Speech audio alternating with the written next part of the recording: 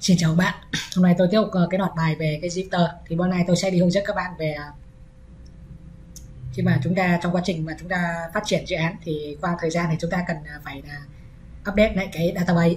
Ví dụ như chúng ta muốn add một cái thêm một cái entity mới hoặc là chúng ta muốn add hoặc review một cái field ở trên một cái entity thì tôi sẽ đi hướng dẫn các bạn làm như sau. Thì bữa trước thì cái file Bữa trước thì tôi đã hướng dẫn các bạn tạo ra cái file zip uh, file GDL như vậy. Thì bây giờ chẳng hạn như là tôi muốn thêm một cái entity mới thì tôi uh, làm như sau. Đầu tiên thì ví dụ như là tôi uh, thêm cái entity mới cho đây. Ví dụ tôi copy cái category xuống này. Chẳng hạn như là tôi muốn ờ, thêm một cái entity mới là article chẳng hạn. Đó, article là bài viết. Đó, chẳng hạn như là tôi có cái đêm này có cái uh,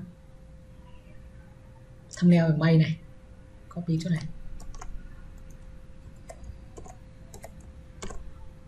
Đây tôi sẽ có cái uh, thumbnail mây này. Rồi tiếp theo là tôi sẽ có cái uh, content này. Đó chẳng hạn như là tôi có thêm một cái entity mới là article như vậy. Thì cách thứ nhất để mà các bạn add cái entity này vô thì các bạn có thể ờ, tương tự như bữa trước thì các bạn có thể uh, run cái lệnh uh, import cái file.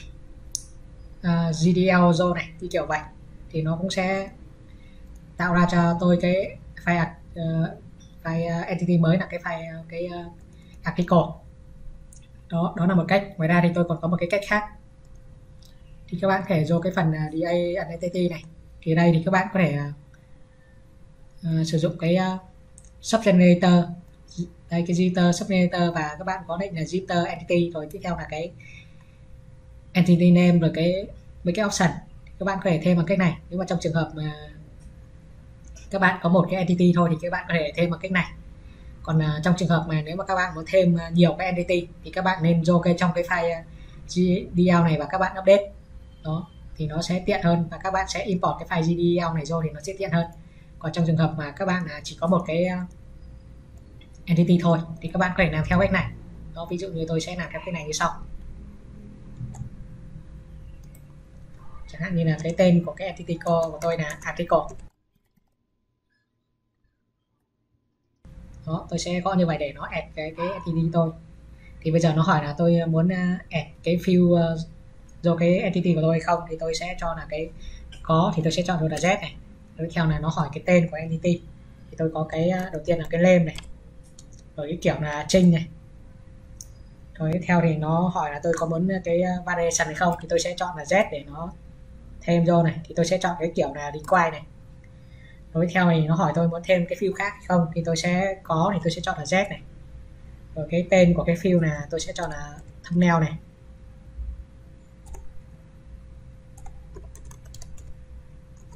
Đó tôi sẽ có cái thumbnail image này. Rồi cái kiểu là kiểu trinh luôn này. Đối theo thì nó có muốn ờ, validation hay không thì uh, tôi uh, Ờ, không, thì tôi sẽ bỏ là đâu này. Tiếp theo này nó hỏi thêm ờ, cái view khác thì tôi sẽ cho thêm cái view là content thì tôi chọn là z này. Thì tôi sẽ thêm cho nó cái view là content này. Rồi kiểu là kiểu trinh này. Rồi cái này tôi muốn ờ, cho nó cái variation thì tôi sẽ chọn luôn là z này. Tôi sẽ chọn variation là require này đối theo là cái field ờ, tôi sẽ cho thêm cái field là creative by này.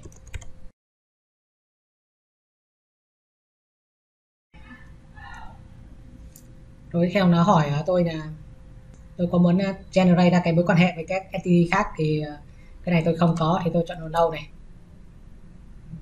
Đối theo thì nó hỏi tôi là cái tôi có muốn generate ra mấy cái service hay không? Tôi chọn cho là z này, tôi sẽ chọn như vậy rồi theo thì uh, nó hỏi tôi là tôi có muốn sử dụng cái data transfer offset DTO hay không? Thì tôi uh, có muốn thì tôi chọn offset này. Đó, rồi tiếp theo thì uh, nó hỏi tôi là tôi muốn uh, add cái filtering hay không? Thì tôi uh, không muốn thì tôi chọn cho nó not fit này. Rồi tiếp theo là nó hỏi là có phải cái entity này chỉ có là read only hay không? Thì tôi chọn luôn là no đối tiếp theo là nó hỏi tôi có muốn phân tra hay không? Này là tôi muốn ờ, phân tra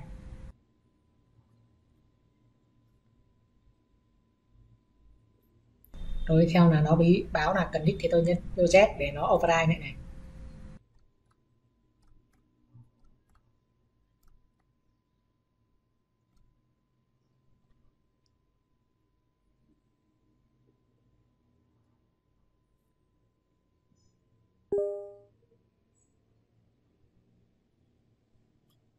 Đó bây giờ thì nó đã generate xong. Thì bây giờ chẳng hạn như là tôi uh, xuống đây và tôi kiểm tra này đấy này, này. thì tôi sẽ refresh này này. Thì bây giờ nó generate cho tôi cái uh, article như vậy. Tuy nhiên thì cái article này nó vừa nãy tôi uh, nỡ tay nên là tôi generate thiếu ra mấy cái attribute uh, là related by rồi đi thịt date rồi updated date update bay thì bây giờ tôi sẽ đi à, hướng dẫn các bạn à, à, là uh, luôn cái cây mà add hoặc là remove một cái field mới trên một cái entity. Thì tôi sẽ đi hướng dẫn các bạn làm như sau. Rồi bây giờ tôi sẽ đi uh, add mấy cái uh, thuộc tính mới cho cái thằng uh, article này. Thì tương tự tôi cũng chạy lại cái thằng Jupyter entity article. Thì nó hỏi tôi là tôi có muốn update cái entity thì tôi sẽ chọn là tôi sẽ chọn vô Z rồi add more field này and relationship này. Tôi sẽ chọn vô Z này. Tôi tiếp theo là tên của cái field này tôi sẽ cho là PID by này. Thì tôi sẽ cho nó cái kiểu là non này. Tôi tiếp theo là cái phần à, uh, variation tôi không muốn chọn thì tôi chọn là nâu. rồi theo là tôi uh, hỏi tôi là tôi có muốn thêm thêm cái field nào nữa hay không? Thì tôi có muốn thì tôi sẽ, sẽ chọn như là Z này. Rồi tên của cái field là created date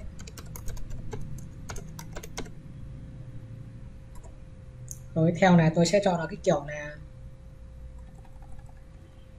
zone date time này. Rồi theo là nó hỏi tôi có muốn uh, cái ờ, ập này cái variation thì không thì tôi không muốn thì tôi chọn là đâu này. Đối theo nó hỏi tôi muốn thêm cái field nào nữa hay không thì tôi sẽ chọn vô là tôi sẽ chọn vô là z rồi tôi theo là cái tên của cái field này tôi sẽ chọn là update date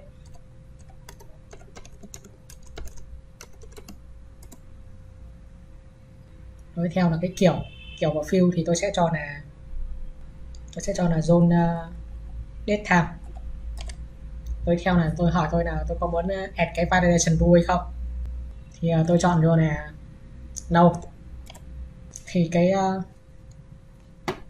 update TDS thì tôi để sai mất rồi. Thì bây giờ tôi sẽ tôi sẽ chọn project này và cái tên của field là update TDS còn cái cái cái field mà sai thì tí nữa tôi sẽ đi hướng dẫn các bạn tìm mua nó đi. Đây tôi sẽ cho cái field là update TDS như vậy các bạn à, chú ý nha không mất công là nó sai còn hơi mất công.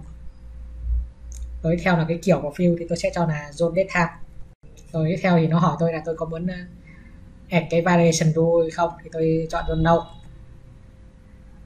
rồi tiếp theo là nó hỏi tôi là tôi có muốn add cái fill đó hay không thì tôi sẽ cho cái uh, tôi sẽ chọn z tôi sẽ chọn z này và cái tên của cái fill này tôi sẽ cho là update by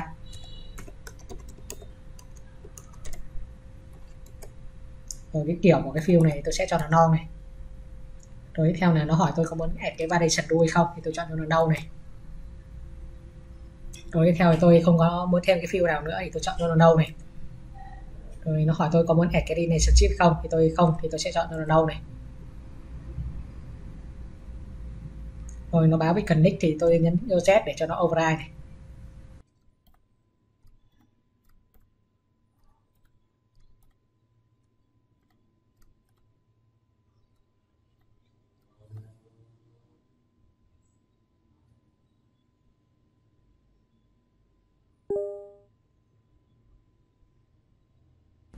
Đó thì bây giờ nó đã generate xong thì bây giờ các bạn kiểm tra lại cái uh, entity article này. Đó thì bây giờ nó thêm cho tôi mấy cái related uh, by này related date này updated date này updated by này. Thì cái uh, cái attribute uh, update date này nó bị sai này. Bây giờ tôi sẽ đi hướng dẫn các bạn remove này. Thì tôi sẽ đi làm như sau. Thì tương tự thì tôi cũng uh, chạy cái lệnh uh, register entity article như vậy. Rồi tiếp theo tôi sẽ tùy chọn là, chọn cái tùy chọn là z, thì profile and relationship cho bài này. Rồi tiếp theo là cái ờ, cái field mà tôi ờ, muốn remove là cái field này. Thì tôi sẽ nhấn phím ờ, space để select này. Rồi tôi nhấn enter để cho nó xử lý này. Rồi tiếp theo là nó hỏi bạn có chắc chắn muốn remove hay không, thì tôi chọn dấu Z này. Rồi nó báo cần nick thì tôi cũng nhấn Z để nó override lại này.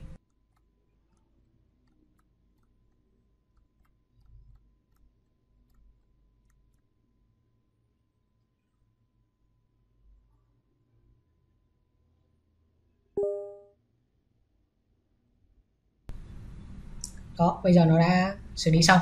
Thì bây giờ tôi sẽ vô lại à, cái article này. Đó, thì bây giờ cái ờ, attribute bị lỗi nó đã remove rồi. Rồi bây giờ tôi sẽ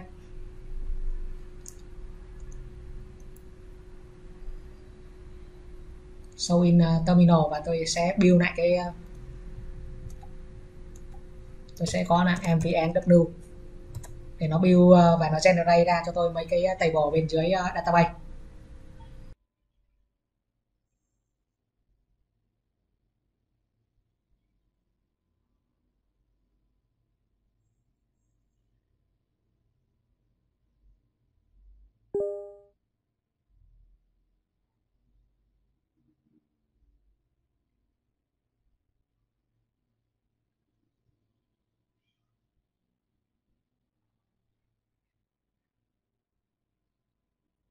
Rồi, nó đã build xong này. Bây giờ tôi sẽ xuống database này. Tôi ờ, sẽ đi phép lại cái database của tôi này. Đó, thì nó sinh ra tôi mấy cái table mới với article này. Rồi, bây giờ tôi sẽ lên ờ, UI và tôi kiểm tra này. Tôi sẽ đi phép lại cái UI này. Đó, thì bây giờ nó có cái entity mới là article và có cái table data như vậy này. Đó. Các chức năng thì nó cũng tương tự đó như vậy là hôm nay tôi đã hướng dẫn các bạn uh, update uh, thêm một cái entity mới rồi update hoặc là add remove một cái field trên một cái entity. Thì tôi đã hướng dẫn các bạn trong hai trường hợp này.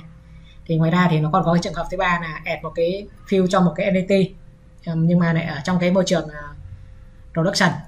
Trong môi trường production thì uh, cái database trong cái database thì cái table thì nó đã có data rồi. Thì chúng ta cần phải xử lý cái theo một cách khác chúng ta cần phải xử lý may đây cái data đó. thì tôi sẽ đi hướng dẫn các bạn xử lý cái trường hợp thứ ba này ở trong cái video tiếp theo hẹn gặp lại các bạn ở các video tiếp theo